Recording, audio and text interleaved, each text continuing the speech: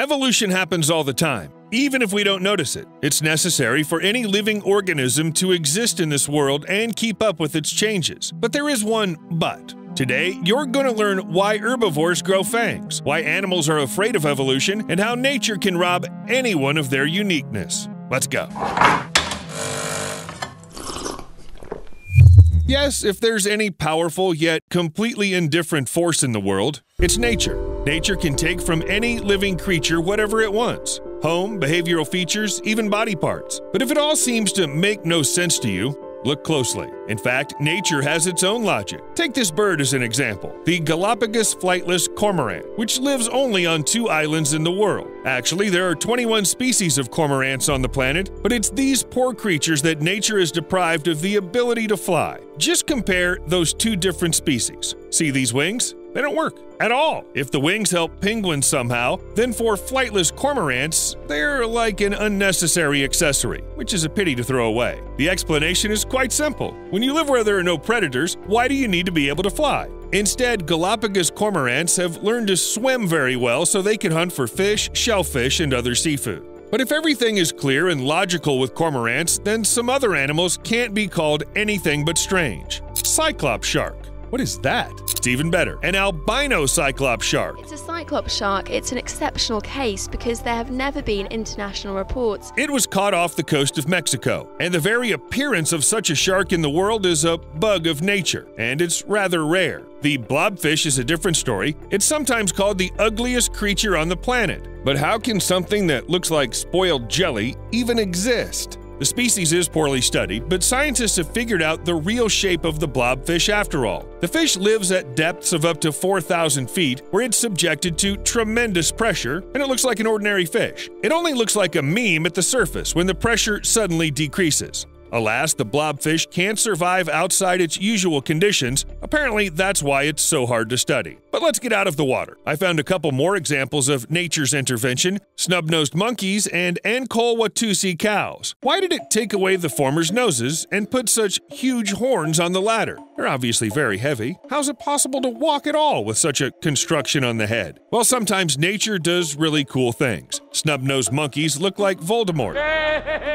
Not because they experimented with Horcrux, they live in mountain forests at high altitudes and often face extremely low temperatures. So, to keep the poor primates from freezing their noses off, nature just took them. Except it didn't think about how they would look like, especially the infants. It's a good thing animals don't have a concept of beauty. It worked out the other way around with the Ankole-Watusi. They live in the hot regions of Africa and they use their huge horns for thermoregulation. These horns are permeated by a system of vessels, and blood circulating back and forth is cooled by air currents. Then it returns to the body and lowers its temperature. Generally, you know, it's a good thing that cows need to be cooled and monkeys need to be warmed. Poor snub-nosed monkeys would have a hard time with those horns. Most animals have it easier. You won't encounter a white shark whose teeth have grown so big that they no longer fit in its mouth. You're unlikely to see an owl with a pelican sized beak that grows endlessly because all of these things are clearly written into the genes of each species.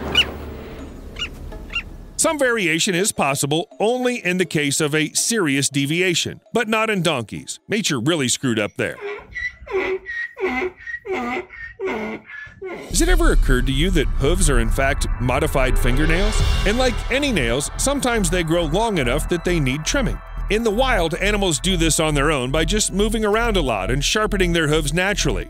But donkeys really have a problem with that. The fact is that they originated in the desert where the ground is hard, dry, and often rocky. Somehow, after that, evolution decided that donkeys' hooves didn't need any upgrades. They turned out to be able to absorb moisture effectively, remain flexible, and avoid splitting and chipping. How cool is that? Yeah, let's get them into production. Unfortunately, in a typical horse pasture, this ability causes problems. The hooves don't wear out from walking, and there's also fungus with various bacteria in them. Five years without a manicure becomes a nightmare. Now, imagine for a moment that a few donkeys found themselves on an island with a mild, humid climate and no predators. Would they still walk around with their hooves bent, or would they have stopped walking altogether? If you want to feel like evolution, post your guesses in the comments. But while donkeys can still end up well without human intervention, it's a different story with sheep. Here, nature's in full swing. Not only can some of the sheep literally overgrow their wool to death, losing mobility and overheating, they also fall. They fall to their deaths. Okay, Mrs., how did you do this to yourself?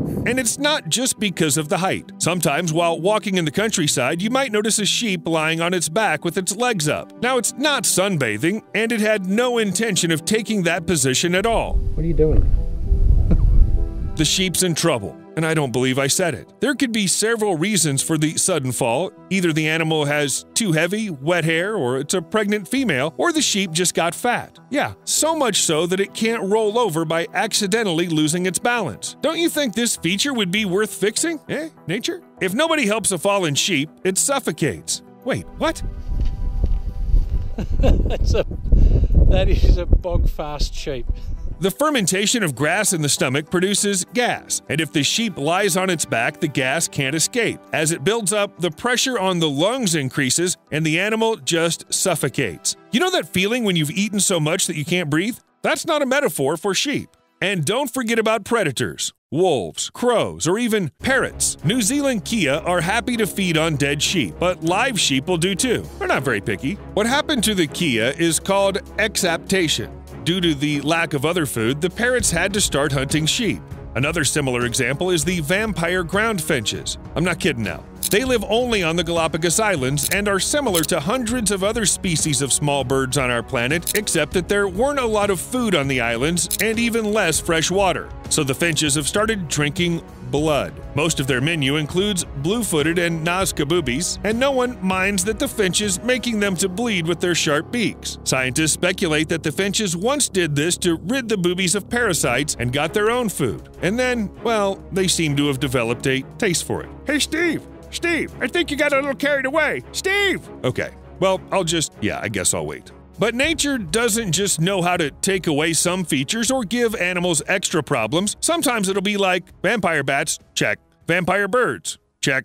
That's right, vampire deer. Here are your fangs. The water deer is a completely unique animal. It eats grass, doesn't wear antlers, and has freaking enormous fangs. Strictly speaking, not every carnivore can boast such fangs, and here it is a harmless ungulate. Why would a deer need something like that? Well, like I said, it doesn't seem to make much sense. Vampire teeth are only used by animals during fights over females. The rest of the time, they just dangle in their mouths and shift when a deer needs to eat. Nature, you're weird.